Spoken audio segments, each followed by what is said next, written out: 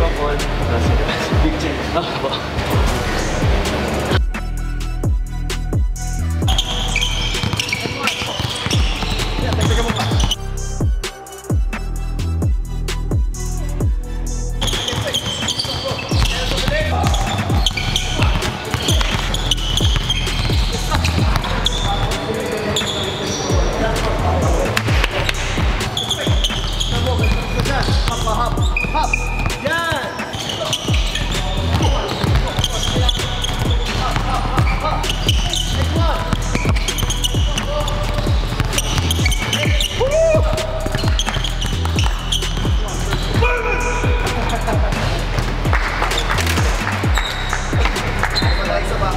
Ah. Kita.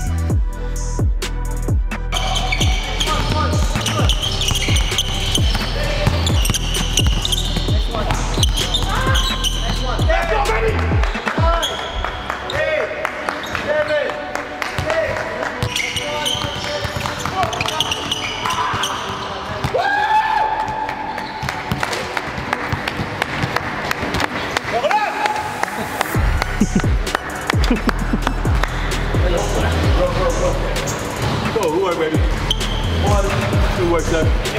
Good work, babe. Good work, my guy. Good work, my guy. Puso!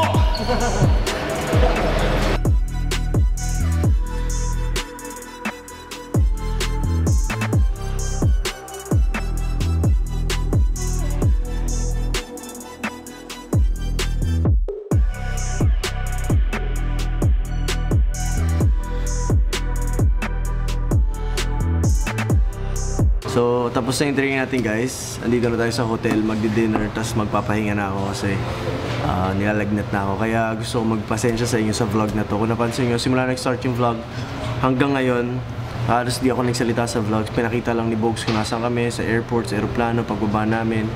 And sana nabawi yung vlog yung sa training kasi pinilit ko talagang magturo. Kasi naman talaga yung pinunta ko dito. Um, And uh, sana may napulot kayo kahit papano. Pero hindi ko na masyado na-explain habang nagtuturo ako. Kasi nung dinedemo ko yung galaw, pinilit ko syempre gumalaw uh, for them to be able to see yung intensity na kailangan nila. So ngayon sobrang sama na ng pakiramdam ko. Nag-umpisa to nung sa Pangasinan. Kasi nga 'di ba naka 2 days kami doon, tapos 6 games ng first day, tapos 2 games ng second day. Yung second day pinilit ko talaga, then after nun para na akong lalagnatin. Tapos pag uwi ko ng Manila, Ah, wala pang one day flight na dito yon doon na nag-umpisa. Nilalagnat na talaga ako. Pero yun nga um, syempre ah, alam ko kailangan ko ito ipahinga. Pero hanggat kaya natin gawa ng paraan gagawa natin. And uh, not make excuses. So sana sana talaga yung vlog na to ah, at least kahit pa paano nakagawa tayo ng vlog napakita ni Bogs kung nasan tayo. Hindi lang talaga ako nakapagsalita nakapag-explain kasi sobrang bagsak na bagsak na bagsak talaga ako. And uh, babawi ako sa inyo. Re-recover lang ako. Hopefully sana bukas makarecover ako pero ang sama kasi talaga ng nangyari sa akin dun sa 8 games na yun. Masaya pero ah, ngayon na lumalabas yung resulta no 8 games na ginawa sa Pangasinan. Siguro so, siguro sinagad ko rin kasi talaga yung sarili ko na dapat ah, medyo nirelax ko pero kasi for the sake na makapabili tayo ng magandang game dun sa Pangasinan, dun sa last day natin yung two games. Ang dami rin kasi nagpunta. Hindi ko na naman in-expect yun, hindi naman namin in-announce. Pero again, shoutout sa lahat na nanood sa Urdaneta. Babalik kami dyan. Ah, yun. Ah, sama lang talaga ng sobrang sama. Parang nilalagnat ako. Binilan nga ako nila ng, ng gamot. Hopefully, tomorrow, makarecover tayo. Pero for now, papaalam muna ako, hindi ko na papatagalin. Dinner ako, tapos matutulog na talaga ako para ah, hoping na makarecover tayo tomorrow.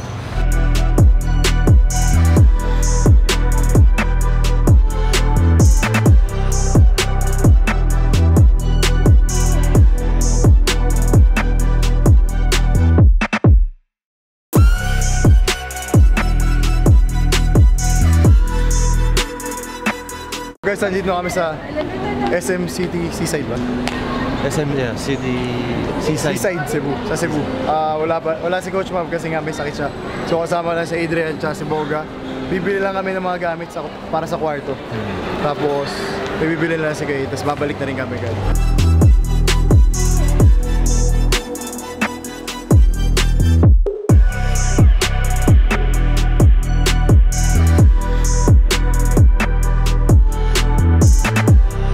Guys, sa second day na namin dito sa Cebu. Ah, tulog pa si Kuya Mav, tsaka masama pa pakiramdam.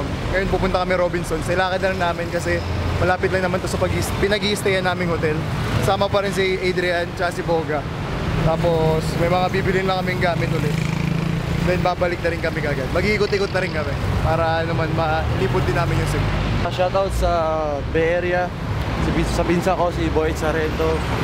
Ah, yung team niya, Hustle and Provide. Tapos yung anak niya, si Michael Sarento. Ah, team bullies ko sa ah, Vegas, si Aaron Acorda, Joe Carbonell, Mike Carbonell, Marky Carbonell, Junel Carbonell, Alvin Leonardo, Kelvin Suniga, RJ Ganal, Gibson Estamo, si Vic, si Mai Derama, Tristan Manikad, Joe Guevara, si Boss Ram, saka si Boss J-Boy. Tapos Team Outlaws, si Beam, si Coach Bryce, Julian, Jory, saka si Ed Reyes, saka si Reggie, Justin. Tapos sa family ko sa Alaska, mga sargento, si Mark, saka si Dayan. Tapos tropang Alaska, tapos si tapos ah, tropa ko sa Vegas, si Jess Esposo, Saka yung shop nila sa Bay Area. 7 out of 7. Check nyo yun. Yun lang. And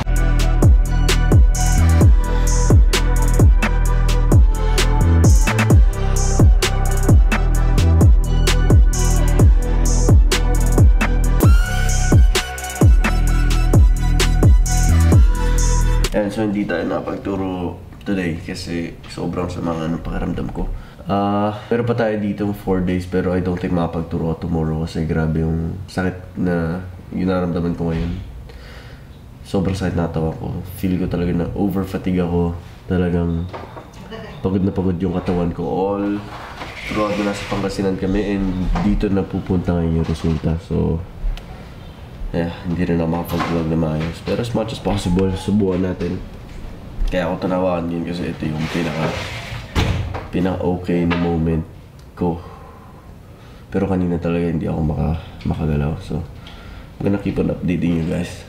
And sayang lang yung opportunity kasi nga yun nga, tinrain ko na kahapon si si Brian tsaka si Paul And uh, ang ganda na ensayo namin pero nung nag-ensayo kami kahapon sa totoo lang grabe na grabe na yung nilalagnat na talaga ako noon. Pero syempre nung napawisan ako medyo gumaan pero nung after na mag-training wala na bumigay na yung katawan ko totally. Kasi after yung Pangasinan, di ba, nasagad ako 6 games on first day, 2 games on second day. Tapos kinabukasan may tryouts kami ng trainers, remember? So after ng Pangasinan, habang nasa game pa lang, na para na ako magko-collapse nun actually. So, uh, naghahabol ako ng hininga talaga nung time na yun. Kaya pag uwi ko ng Manila, nilalagnat na ako nun. Kaya lang ngayon nakaset yung uh, tryouts for trainers. So, uh, tingin ko doon talaga nag-trigger. Kasi napilitan na naman ako gumalaw doon sa tryouts. And then uh, after, parang wala pang, parang mga 12 hours flight na natin going to Cebu. And then, mas masama na yung pakiramdam ko nung nandito na Cebu. Pero pinilit ko talaga magturo kahapon. So tingin ko ito na, nasagad na talaga tayo. So, uh, hoping last 4 days natin makarecover ako kahit makapagturo. Last 3 days kahit papano. Pero tingin ko tomorrow medyo alanganin talaga. So yun ang update sa akin. Pahinga muna ako guys.